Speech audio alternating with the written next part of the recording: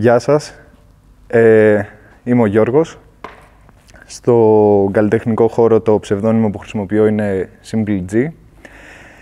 Ε, εκτός ότι θέλω να ευχαριστήσω για εξ αρχής για να χαλαρώσω γενικότερα ε, όλη την ομάδα του TEDx και κυρίως τον Μάριο. Ε, θα ήθελα να σας πω δύο λόγια με βάση την ανασκόπηση που έκανα ε, στα διλήμματα που εν τέλει έχουμε καθημερινά στη ζωή μας. Ε, τα διλήμματα ξεκινάνε πριν ακόμα γεννηθούμε ε, και στη συνέχεια εξελίσσονται σε μεγαλύτερα, μικρότερα, θα τα πούμε στην πορεία. Ε, το γραφίτι εξορισμού είναι αυτό το οποίο βλέπουμε στους δρόμους, στα τρένα, ε, ουσιαστικά αυτά που θεωρεί ο κόσμος περισσότερους μουτζούρες. Ε, αυτές οι μουτζούρες κάποιοι τις θεωρούν βανδαλισμό, άλλοι τις θεωρούν τέχνη. Βαριές έννοιες. Ε, θα σας ξεκινήσω από μια ιστορία και όλα στην πορεία θα συνδεθούν μεταξύ τους. Κάποτε στοιχείο, ε, μια μητέρα μέσα στο σαλόνι της, καθόταν και σκεφτότανε αυτό που πολλές μητέρες είχε ήδη ένα παιδί, δύο χρονών, και σκεφτόταν στη δεύτερη γέννα που ήταν έγκυος στο δεύτερο παιδί της και σκεφτόταν ε, να κάνει έκτρωση. Εκείνη την ώρα, έτσι όπως την έβλεπε ο μικρός γιος της, πάει σε μια μεγάλη βιβλιοθήκη και παίρνει ένα βιβλίο τόσο σε πάχος και της λέει «Μαμά, πάρτο». Αυτό το βιβλίο ε, έφερε εμένα στη ζωή. Οπότε το πρώτο δίλημα το οποίο βρέθηκε κάποιος άνθρωπος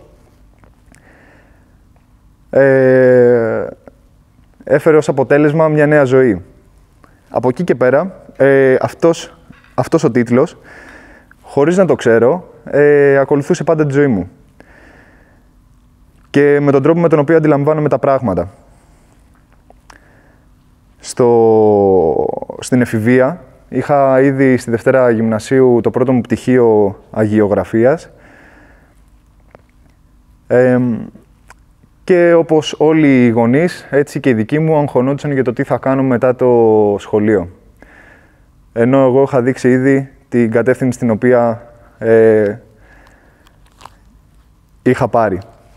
Σε αυτό με βοήθησαν κυρίως, βασικά με βοήθησε κυρίως μια καθηγήτρια η οποία είχα, κυρία Κωνσταντίνα, στη, στο Λύκειο, η οποία ενώ έβαζε ασκήσεις για τις γιορτές στα υπόλοιπα παιδιά ε, κανονικές, αυτή φιλολογικά κάναμε. Εμένα μου είχε δώσει δύο μπλοκ ζωγραφικής. Οπότε είδα ότι εκείνη την ώρα εγώ ένιωσα προσβολή, αλλά εκείνη ε, είχε καταλάβει κάποια πράγματα για μένα. Τα οποία εγώ μάλλον δεν τα είχα καταλάβει, για... δεν τα είχα καταλάβει ο ίδιος. Ε, με βοήθησε και με ξεκλείδωσε. Και κατάλαβα ότι εν τέλει εγώ αυτό, αυτό μου αρέσει και αυτό πρέπει να παλέψω. Ε, μπορώ να πω ότι δούλευα αρκετά σκληρά και το κομμάτι του γραφίτι είχε μπει από τότε που τελείωσα με τις σπουδές μου στην αγιογραφία, στη Δευτέρα Γυμνασίου περίπου. Ε, αυτό που μ' άρεσε στην όλη διαδικασία ήταν ότι χωρίς να το καταλαβαίνω τότε, αυτό που έκανα δημιουργούσε μέσα στο αστικό τοπίο μια γκαλερί. Και αλληλεπιδρούσα με τον κόσμο χωρίς απαραίτητα να έρχομαι σε επαφή μαζί του. Κάτι το οποίο εμένα μου άρεσε πάρα πολύ. Ε, δεν μπορώ να πω ότι είμαι και ο πιο κοινωνικός άνθρωπος, οπότε αυτό με εξυπηρετούσε κάπως. Στην πορεία, ε, κατάλαβα ότι μπορώ να μιλήσω σε όλες τις κοινωνικές ομάδες, χωρίς κάποιος ε, να νιώθει μειονεκτικά ή όχι. Δηλαδή, υπάρχουν, μπορείς να μιλήσεις ας πούμε, σε πλούσιους, σε φτωχούς, σε μορφωμένους, σε αμόρφωτους, ε, σε μικρούς, σε μεγάλους. Και αυτή είναι η δυνατότητα της τέχνης, εν τέλει. και η δυναμική της. Η δύναμή της. Αυτά ήταν τα πράγματα τα οποία με έκαναν κυριολεκτικά να αγαπήσω αυτό το πράγμα. Στην πορεία, ε, μετά την εφηβεία και μετά από δύο απόπειρες που έκανα για την καλών τεχνών, συνειδητοποίησα, ε, βασικά οι άλλοι συνειδητοποίησανε, ότι πρέπει να πάω στρατό. Πηγαίνω στρατό για να φύγει αυτή η υποχρέωση που δημιουργείται στα αγόρια και ευγνωμονώ ακόμα τον πατέρα μου που με πίεσε τότε ε, να πάω. Μέσα από κάποιες δυσκολίες ε, στην απαιτητική εκπαίδευση που δέχτηκα εκεί πέρα μέσα, κατάλαβα ότι η ζωή μπορεί να γίνει πολύ δύσκολη ε, και έξω τα πράγματα ήταν αρκετά όμορφα. Και αυτό που έκανα, εμένα με γέμιζε ακόμα περισσότερο. Ε, εκεί πέρα δηλαδή θα μπορούσε να κληθείς να αντιμετωπίσεις καταστάσεις πολύ άσχημες ε, που ουσιαστικά φέρνουν και την... Η ιδεολογία του τέλος πάντων του στρατού είναι αρκετά δύσκολη να μπορέσεις να την ακολουθήσεις όταν τουλάχιστον ε, ασχολείσαι με τα καλλιτεχνικά. Εκεί πέρα μέσα πήρα απόφαση για τη ζωή μου πολύ γρήγορα, χωρίς να το, χωρίς να το ξέρω, αλλά τουλάχιστον ήμουν πολύ συνειδητοποιημένος στο τι θα κάνω. Έλεγα ότι με το που φύγω από εδώ πέρα θα βγω έξω, αλλά θα παλέψω όσο μπορώ. Ε, και για να αποδείξω ακόμα μια φορά στους υπόλοιπους ότι αυτό που κάνω είναι αυτό που ε, είναι ο στόχος μου. Και είναι αυτό που με γεμίζει. Γιατί; Γιατί όπως λέει και ο τίτλος θέλω να ζήσω. Θέλω να ζήσω τη δική μου ζωή και θέλω να τη ζήσω έτσι όπως ακριβώς εγώ θέλω και όπως εγώ την ορίζω τη ζωή. Ε, βρέθηκε ένας άνθρωπος εν τέλει, τον Αύγουστο, λίγο πριν τελειώσω, ο οποίος μου λέει ότι εσύ πρέπει να... Του είχα εξηγήσει, ας πούμε, ότι είχα δώσει δύο φορές και είχα αποτύχει στη σχολή μου, στη σχολή που ήθελα, στην Καλό Τεχνών στην Αθήνα και με συμβουλεύει να ξαναδώσω. Και ήταν η καλύτερη συμβουλή εν τέλει που είχα πάρει. Από εκεί πέρα μέσα. Και μου λέει, κυνήγησε αυτό που πραγματικά εσύ θέλεις. Και μου λέει ότι, ε, κοίταξε εμένα, κάνω λέει κάτι το οποίο δεν μου αρέσει 100%. Και σταμάτησα να προσπαθώ επειδή ε, αποτύχανα στις εξετάσεις οποίες έδινα. Αυτό εμένα εκείνη την ώρα μου παρακίνησε αρκετά περισσότερο και με έκανε να πεισμώσω ακόμα περισσότερο. Τον στόχο μου, ωστόσο, δεν τον είχα πει σε κανέναν. Τον ήξερε κατά λάθος ο πατέρας μου ε, και ακόμα ένας άνθρωπος. Ε, εν τέλει τελειώνει ο στρατός με ελάχιστα μαθήματα που προλάβαινα να κάνω, γιατί το κενό που υπάρχει είναι πολύ μικρό, δηλαδή από Αύγουστο να δώσει εξετάσεις Σεπτέμβρη. Ε, είχα την ευκαιρία και πέρασα. Και εν τέλει το δίλημα το οποίο κάθε φορά αντιμετώπιζα μπροστά μου, υπήρχε κάποιος ο οποίος μου το έλυνε. Ε, απλά αυτό που συνειδητοποίησα είναι ότι έπρεπε να έχεις ανοιχτά τα μάτια σου και τα αυτιά σου ε, σε αυτά τα οποία σου συμβαίνουν.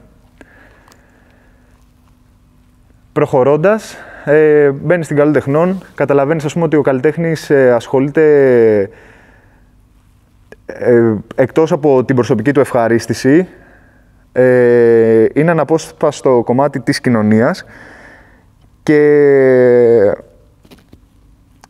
απευθύνεται κυρίως στην κοινωνία με αυτό που κάνει. Γιατί πολλοί άνθρωποι, ας πούμε, ταυτίζονται μαζί μας, κάποιους τους επηρεάζεις, ε, κάποιοι άλλοι... Ε, είναι λίγο, είναι λίγο περίεργο το θέμα. Ε, εκεί συνειδητοποίησα το πόσο σοβαρό είναι εν τέλει αυτό που κάνω.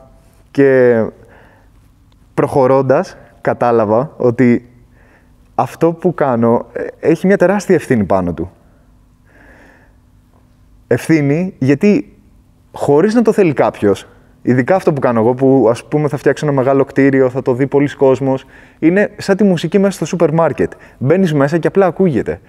Εγώ σκέψω ότι είμαι ένας άνθρωπος που θα προχωρήσει στον δρόμο και θα δω ντύκι καλά ένα δικό μου έργο εκεί. Μπορεί κάποιος να. Εμένα μπορεί να μου αρέσει. Σε κάποιον άλλον μπορεί να μην του αρέσει. Κάποιος μπορεί να μην συμφωνεί ιδεολογικά. Κάποιος άλλος θρησκευτικά. Κάποιος.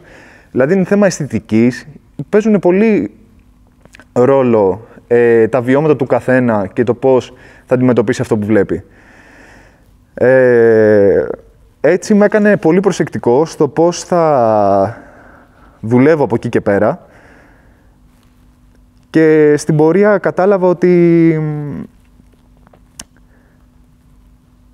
είναι πολύ σημαντική η τέχνη στη ζωή μας.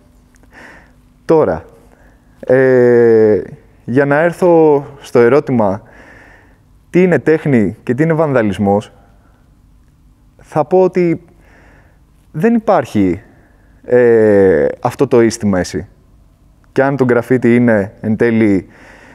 Γιατί πολλές φορές ο κόσμος, ας πούμε, το, το συνδέει, τα, τα μπερδεύει αυτά τα δύο πράγματα. Για να σου φέρω ένα παράδειγμα. Υπάρχουν αυτές εδώ πέρα οι δύο βαλβίδες, οι οποίες ε, είναι για αυτό που κάνω. Αυτές εδώ. Με αυτή εδώ πέρα κάνει συνήθως κομμάτια τα οποία ε, είναι σαν τα δικά μου. Μπαίνεις σε πολύ μεγάλες λεπτομέρειες, θα φτιάξεις μάτια, θα φτιάξεις χέρια, θα μπορεί να φτιάξεις μέχρι και τους σπόρους από το δέρμα. Ε, ωστόσο με αυτήν κάνεις πιο γρήγορα κομμάτια, αυτά που βλέπεις στα τρένα, αυτά που θα δεις ας πούμε στο δρόμο. Το θέμα είναι ότι δεν υπάρχει αυτό ή αυτό. Υπάρχουν και τα δύο. Είναι δύο διαφορετικά πράγματα. Ε, απλά υπάρχουν. Δεν μπορείς να μιλήσεις απόλυτα για κάτι τέτοιο. Αυτή την ισορροπία στη ζωή μου και στη σκέψη μου ήρθε αρκετά πρόσφατα ε, όταν ξεκίνησα να...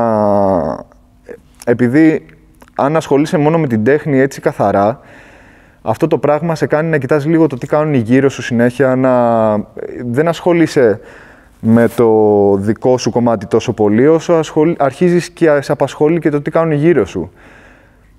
Ναι, μεν πρέπει να γίνεται αυτό, απλά όχι σε τόσο μεγάλο βαθμό. Αυτή την ισορροπία, εμένα μου την έφερε, ας πούμε, το τρέξιμο, το οποίο ε, με έκανε να...